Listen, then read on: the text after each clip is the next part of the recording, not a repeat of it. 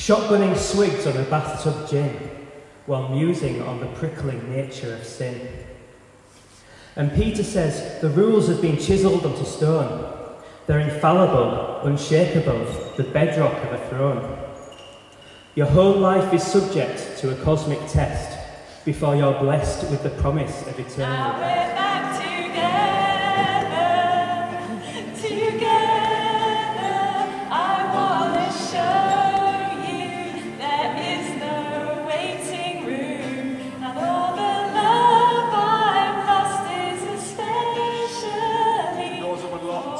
And the queue outside gets moving, and we're filtered into appointments.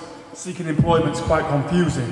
What websites are they using? They keep asking us that. We're just watching the words we're choosing when we have to answer back. Signing up to these different sites, but they all want to know our details. It's a constant flow of emails.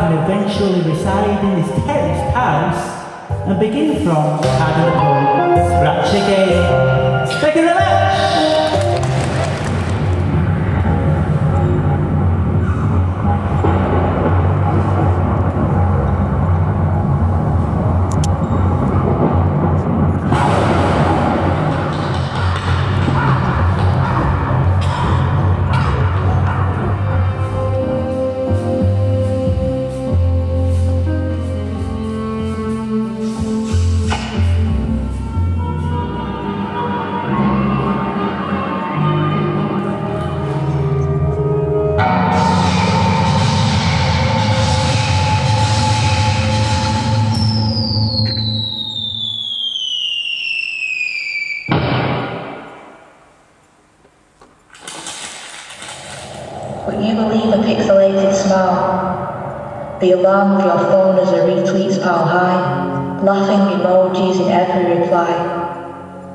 You didn't notice that our joy was staged, the script writing with which our life engaged. But when the encore's done and the curtain's shut, skin isn't thick enough for the director's cut.